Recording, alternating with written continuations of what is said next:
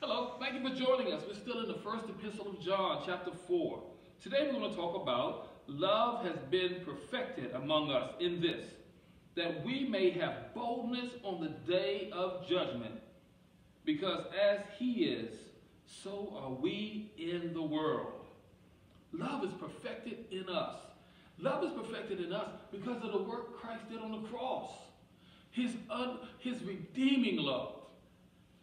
Love that he poured out for us. That love. That love that says that we are covered. That love that says that we are whole. If we just get to the cross and trust our Lord.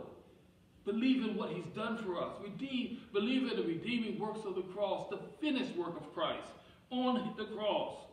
And on the day of judgment, we are bold because we have been washed in the blood of the Lamb, washed in the blood of the crucified one. We've been redeemed.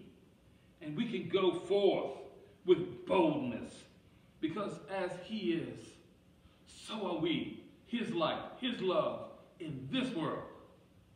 Thank you for joining us. We'll see you next time.